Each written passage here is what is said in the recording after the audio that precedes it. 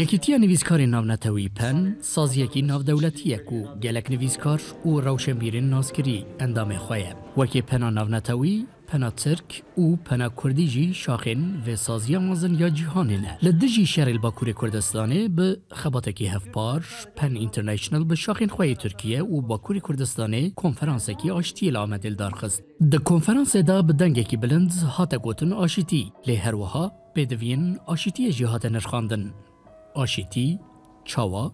û ji bo kê. Serokê Penakurd Şex Musefer di konferansê da bi aliyê xwe ya rewşenbîrî, gilî gazincê xwe anî ziman û metirsiya xwe li dijî siyaseta dewletê ve got. Du roj berê çar akademisyen دۆزگەرین کو داخواست kirin Piştê serokê Penakurt, Rewşembîr, Zana û Rûspiyên wêjeya cîhanê derketin serdikê û nirxandinên xwe parvekirin. Her wiha di konferansê de wek dilsozekê aşîtiyê, serokê şarederiya bajarê mezin ya Amedê Firat Anlê jî hat vexwendirin. Firat Anlê li ser rola Rewşembîr û Ronekbîrên civakê ji Orient Newsê re axifî û got. Bi dengê edebiyatê, bi dengê hunerê em dixwazin li Amedê em bangekî nû bikin. Bila ev e, şer bide seknandin,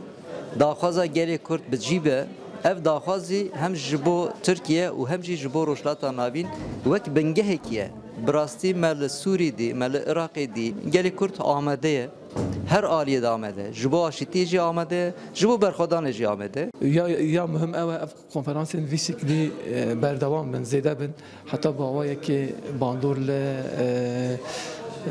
سیاست جی به باندول حکومت بکرین دا کو هنگا بنا آویتن د کنفرانس دا جالی روناکبیر او انتلیکتوالین کرد او ین بیانی و به یک دنگکی پیدویا آشتی هات زمان له هجای پرسه یکو آشتی کی چاوا او د چه مرجه دا وکی دی جبو که بگمان او یک شی د کنفرانس دا هات نقاش کرن وقتی گو او خستنا آشتیه اختوال دبه تی گوتن بدنگه کی بلند و کرد و کردستان چاوا به یعنی امی پرسا کردی چاوا حال بکن دور دهنه کی از باورم و گو نزلالی هه کاربم کو همو قدان تیغ ناوی نقاشی کو گاوین گرینگ وراویتن شبر کو پیوا اشتی پیوا که گلک فره دبه میرو ادی